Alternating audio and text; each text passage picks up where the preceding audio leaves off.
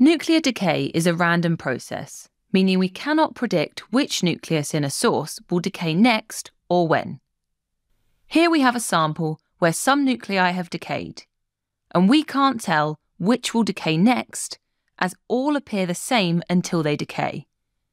We also can't tell exactly when the next nuclei will decay, as this happens when one feels like decaying. It could be one second, it could be one day, it could be one year. So, this also means we can't exactly predict how many nuclei decay in a certain time period. All of the nuclei in the source have the same chance of decaying in a given time period. So, how exactly do we demonstrate how the nuclei in a system decay? Well, we can demonstrate how a radioactive source decays over time by tossing coins. This is an experiment you can easily try at home. Start by tossing a large number of coins. Each coin represents an unstable nucleus. So each coin in this experiment represents a nucleus in a system. And the more coins used, the more accurate the result, but the longer the experiment will take. Each coin that lands on heads is removed from the sample. These represent decayed nuclei. So here is the result of tossing all of our coins and these are the nuclei that have decayed. Next, toss the coins again and repeat until all coins have been removed from the sample.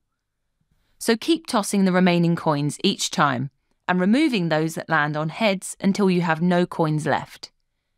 Each toss of the coins represents a certain time period. That could be one year, for example.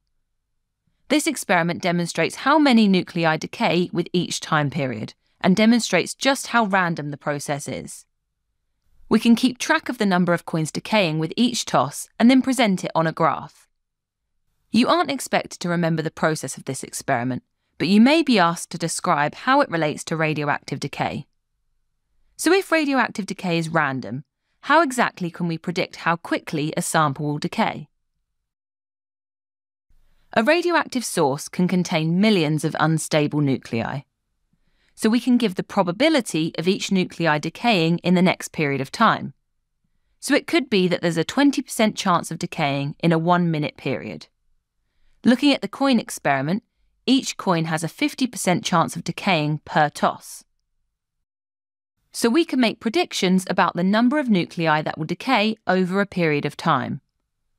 So we can predict approximately how many nuclei will decay we can say that if each has a 20% chance of decaying, roughly 20% will decay in a one minute period. In the coin experiment, the more coins we use, the more likely around 50% will decay in a toss. So we would see roughly 50% of the coins decaying each time. Thanks for watching. If you want to take your GCSE revision to the next level, head over to launchpadlearning.com and check out our smart learning platform that's been designed to get you top results in your exams. We cover your whole specification and make revision fun with interactive quizzes, easy to follow videos, and more. You'll be kept motivated by your own AI tutor who's here to support you every step of the way. To check it out for yourself, click here.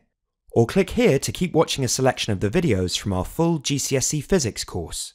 See you there!